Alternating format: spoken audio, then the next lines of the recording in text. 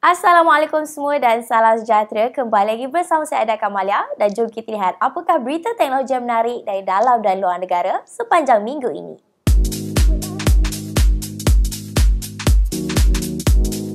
Berita minggu ini dimulakan dengan pelancaran telefon pintar Honor 10 Lite di pasaran China.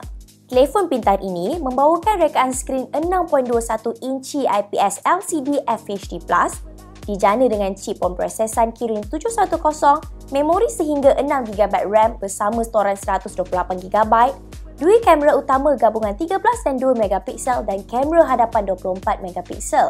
Telefon pintar ini juga menyokong kad microSD storan sehingga 512GB, dua SIM nano dan juga pelancar EMUI 9. Di China juga, Xiaomi telah hadir dengan televisyen mereka yang terbaru iaitu Mi TV 4S 75 inci. Televisyen ini menyokong paparan 4K HDR diperbuat daripada besi, menyokong pembesar suara gabungan Dolby dan DTS, sistem operasi Patchwell OS, janaan chip ARM Logic generasi ke-6 dan kemampuan kawalan dengan arahan suara. Desas-desus mengatakan bahawa Qualcomm akan memperkenalkan chip pemprosesan terbaru mereka dipercayai Snapdragon 8150. Chip pemprosesan ini merupakan kemas kini daripada chip Snapdragon 845 mempunyai rekaan 7 nanometer dan dikatakan bakal diperkenalkan bermula 4 Disember kelak.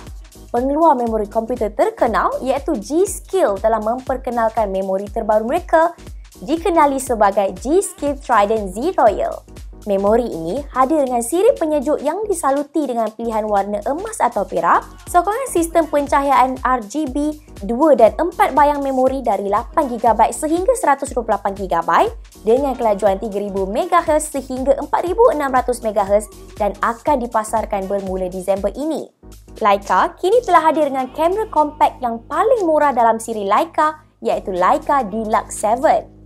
Kamera ini menggunakan sensor Leica DC Vario Summilux menyokong untuk membuat rakaman 11 frame per second, melaras titik fokus selepas mengambil gambar, Bluetooth, Wi-Fi dan juga skrin sesentuh. Dalam arena teknologi tempatan pula, telefon pintar Oppo R17 Pro telah dibawa masuk ke Malaysia.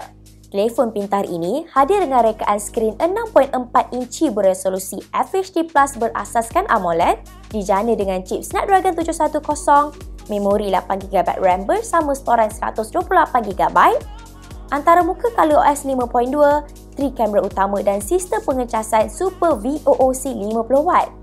Oppo R17 Pro ini dijual di Malaysia pada harga bermula RM2,699 dan akan menerima Neo Smart Band secara percuma sekiranya membuat pratempahan di Shopee. Pada minggu ini juga, Samsung Malaysia telah membawa masuk telefon pintar Galaxy A9 2018 mereka. Telefon pintar ini hadir dengan rekaan skrin 6.3 inci AMOLED QHD+, dijana dengan Snapdragon 660, memori 6GB RAM bersama storan 128GB, empat kamera belakang selain kamera swafoto 24MP dan dijual di Malaysia pada harga RM1,999. Telefon pintar sub jenama Oppo iaitu Realme C1 kini sudah boleh didapati di pasaran Malaysia. Realme C1 ini hadir dengan rekaan skrin 6.2 inci bertakuk, dijana dengan chip Snapdragon 450, memori 2GB RAM bersama storan 16GB yang boleh diperluaskan melalui slot microSD dan boleh didapati pada harga hanya RM399. Kementerian Komunikasi dan Multimedia minggu ini telah mengeluarkan kenyataan berkenaan kehilangan hal monopoli daripada Astro dalam menyiarkan perkhidmatan televisyen mereka. Hal ini adalah kerana lesen penyiaran mereka akan berakhir kelak dan dijangka akan bersaing dengan empat syarikat yang lain iaitu Ansar Broadcast Sendirian Berhad, Jaringan Mega Sendirian Berhad, Smart Digital International M Sendirian Berhad dan juga High End Net Sendirian Berhad.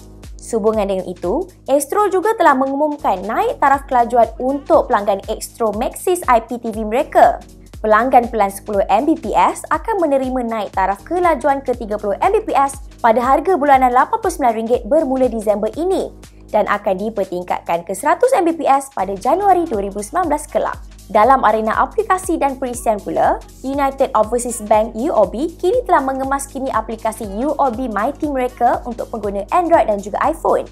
Kemaskini ini membolehkan pengguna untuk menerima kod pengesahan transaksi melalui aplikasi dan menggantikan penggunaan SMS sekaligus memberikan keselamatan yang lebih tinggi kepada pengguna.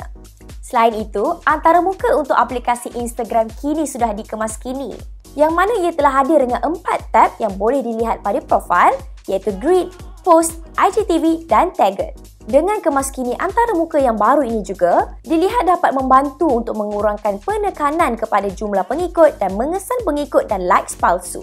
Minggu ini juga menyaksikan aplikasi Tumblr telah ditarik daripada Apple App Store kerana kandungan pornografi kanak-kanak bawah umur. Namun, tiada maklumat rasmi yang dikeluarkan oleh pihak Apple atau Tumblr. Akan tetapi, aplikasi ini hanya tidak boleh dimuat turun melalui App Store sahaja. Jadi itu sahaja berita teknologi yang menarik sepanjang minggu ini. Jumpa lagi pada minggu hadapan. Saya Dak Kamalia untuk Amaz. Yosh.